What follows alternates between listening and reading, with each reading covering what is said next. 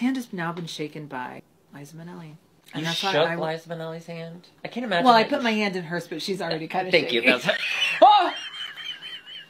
No.